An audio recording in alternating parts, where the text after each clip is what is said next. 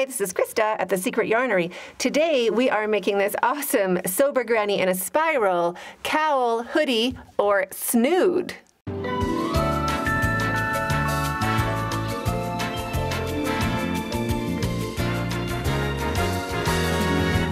What is a snood? A snood is a cowl big enough to pull up over your head.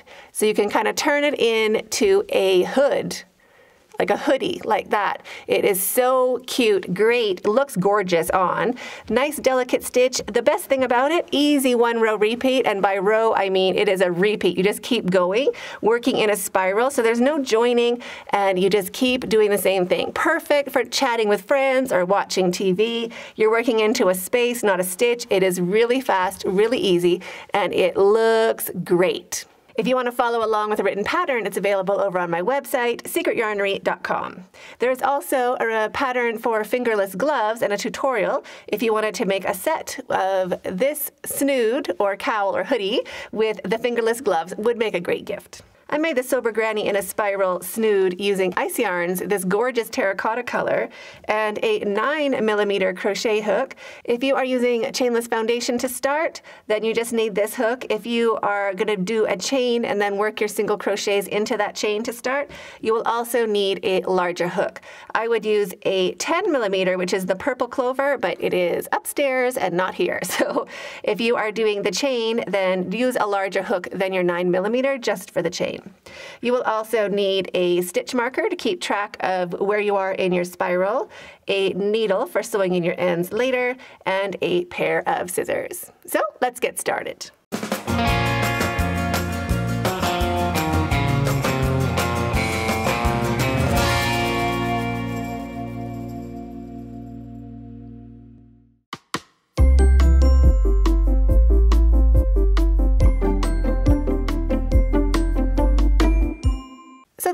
Two ways of starting. I will show you the first one, which is just making a regular chain. And I'll just show you really simply. Use your larger hook. This is too big, but just for sample sake. Use your larger hook and you're gonna chain a multiple of four or 72. So you would just be making your chain like this. And then switching over to your regular size hook turning it over and starting in your second chain, one single crochet into each stitch. So just working into those back loops. It's easier if you use a bigger hook for your starting chain, and that will also help your snood not be too tight on one side. It'll help it have the same stretch on top and bottom. So you would just go through doing your row of single crochet just like this. And we're going to turn it into a ring at the second the second row. So make sure you leave a long enough tail and you would just keep going like this, making one single crochet into each stitch. Also working into the back loops, both sides look great. So this is the bottom side, our chain looks really nice, and that will be what it looks like at the top. Also looks nice, what matches. So that's one way of doing it. You can chain 72 with a larger hook and make one single crochet into each chain. Or if you want to be more adventurous, just use your one hook, your 9 milli. Again, leave a long enough tail to sew together at the end later. But make a slip knot, put it onto your hook, and chain two. One and two. Now just working into this first chain, I'm just going to push my hook right into that first chain and grab my yarn and bring it back through and chain one. So that is my chain. Now I'm going to hold it open. You can see there's two strands together and one farther by my fingertip. I'm just going to put my thumbnail in between those two. So there's one strand on the top of my fingernail and two strands underneath my thumb. And then make your single crochet. So wrap and take off two. Now into that spot I was holding open with my thumb, put your hook in, grab your yarn and bring it through and make your chain. So take off one, separate that stitch again, so one strand in front of your thumb, two strands under, wrap your yarn and do your single crochet. So take off two. Again, put your hook in where your thumb was, bring your yarn back and do your chain. So chain one, find that spot, keep it open with your thumb, and wrap your yarn and do your single crochet. So take off two. So we're just doing our chain and our single crochet together at the same time, so you don't have to work into your chain. So again, put your hook in to where you were holding it open, grab your yarn and bring it back, wrap your yarn and take off one, pinch it, wrap your yarn and take off two. Put your hook in to where you were holding it open, grab your yarn and bring it back, wrap your yarn and take off one, pinch it, wrap your yarn and take off two. So you can just keep going like that, and that also gives you a really nice starting edge with your chain and a really nice finished edge with your single crochet. So that's how I'm going to be doing mine, just working a chainless foundation. And I'll also link a video, a tutorial I did just for this stitch uh, in the cards up above if you want a little refresher on it. So the gist of it is you just remember to do your chain first and then your single crochet. So in, chain first, single crochet. In, chain first, single crochet. So you're just doing them at the same time. So pause the video and do your chain. You want it to be 72 chains long or 28 inches. To count your chains, just go back along where you started and you want to just count this first V at the top.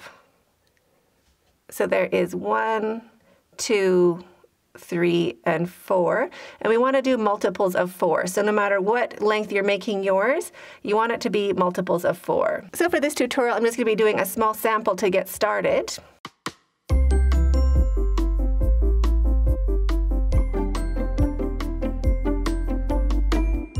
So for your row of single crochet, you just kind of want to lay it down flat. Make sure there's no twists on it. You want it to be nice and flat.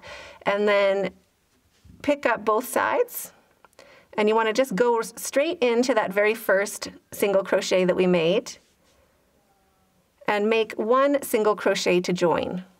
One single crochet. And don't worry about this all being open underneath. We're going to use this tail to stitch that together when we are done.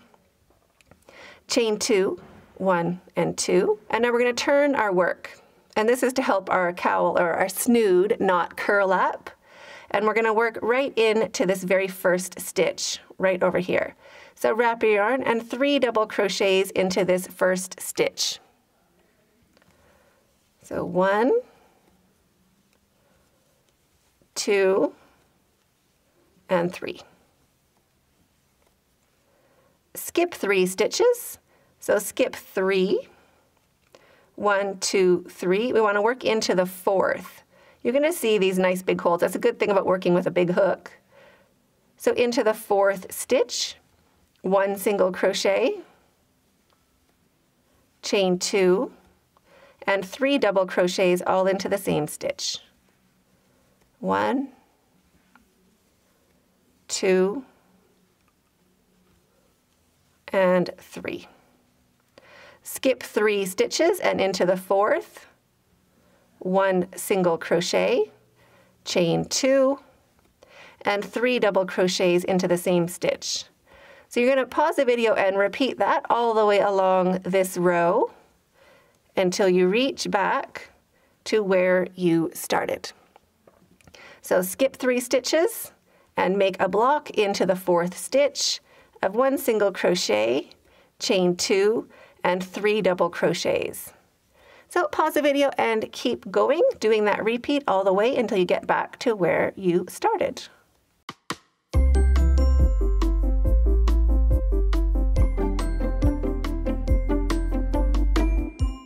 When you get back to where you started, look for that chain two space of your first block. And we're just going to make one single crochet into that space, just like that and do your block. So chain two and three double crochets into that same space. One, two, and three. Now grab your stitch marker and pop it into that chain two space just to keep an eye on where our join is. You can also tell by your tail that we haven't sewn in yet, so I just leave that to the end just to make sure, and then we'll have a nice little line to follow up where we know our new row started. And now we're just going to work into every chain two space going along. This is little kind of mountain on our shells or our blocks. So into the next chain two space, we're just going to jump straight over and make your block of one single crochet, chain two, and three double crochet. One, two, and three. Find your next chain two space and make another block. Single crochet, chain two, and three double crochets all into that same space.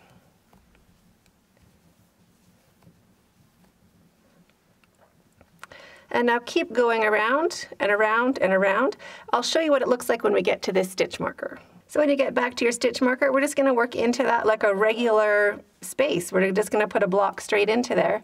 So single crochet and three double crochets.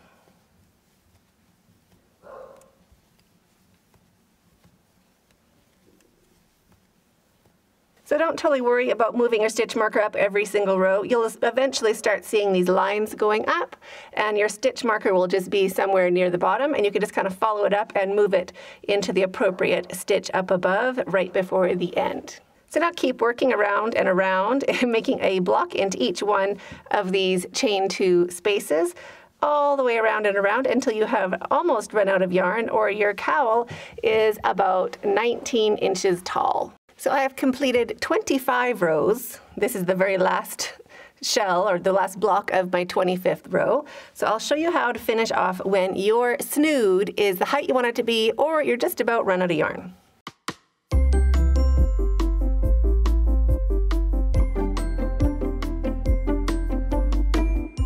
So here is my join from the very bottom where my tail is. So to join, I'm going to slip stitch one slip stitch just into that same chain two space we always have been. Chain two and turn your work. So we're going to skip a stitch right here. We're going to go into the second and third and also into the space. But we're skipping the first one. So jump to the second stitch, single crochet, single crochet into the next stitch as well, and single crochet into the space. Chain one skip a stitch into the second single crochet, into the next single crochet, and into the space, single crochet, chain one. So every one of these little blocks gets three single crochets and a chain one. And that's gonna give a, a nice finish that matches the bottom of our snood and it won't, it'll have the same amount of stretch. So skipping the stitch at the very bottom, working into the center stitch, one single crochet, the next one single crochet, and into the chain space, one single crochet, chain one. Skipping a stitch, into the second, one single crochet, into the next, one single crochet, and into the space, one single crochet, chain one.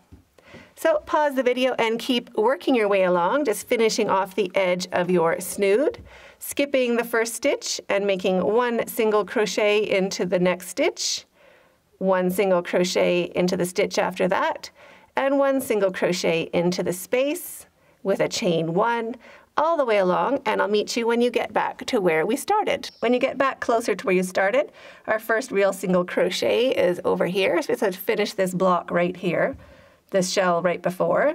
So we're going to do the same thing, skip the first stitch, single crochet into the middle stitch, single crochet into the next, and single crochet into that chain space.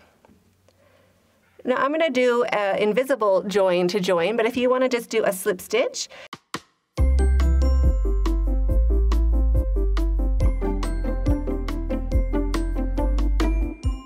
you would go into that very first single crochet that we made, that first real stitch right here. You just go in with your hook like you normally would, bring it back, slip stitch, chain one, cut your yarn, pull your hook up and your yarn through, and sew in your tail. But let me show you a really quick invisible join.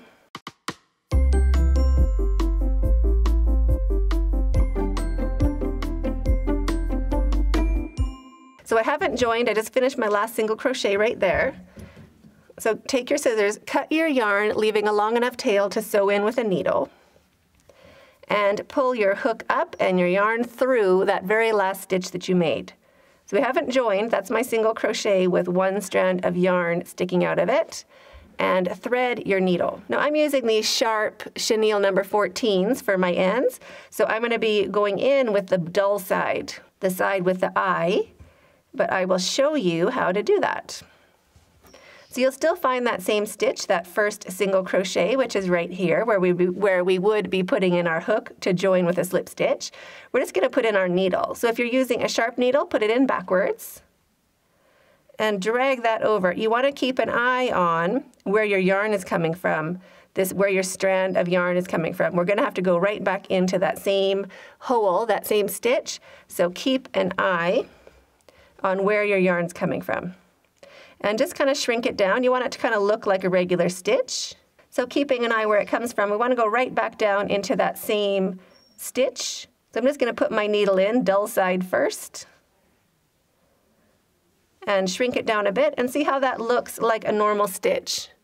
That is what we want. We want it just to look like a regular stitch going all the way around. You just want to make sure you don't pull it too tight, and that is what it looks like. So finish sewing in your tail and you are finished. So that is the invisible join when it is done and you cannot see anything. There's no little lump on the top and it is super easy to do.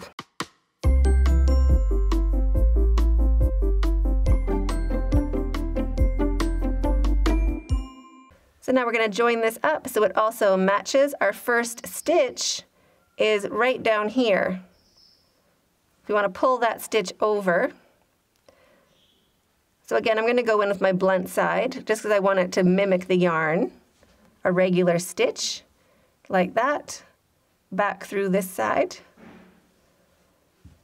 Just to even it out there at the bottom. And now I'll use the sharp side of my needle or the regular side and just sew in that tail.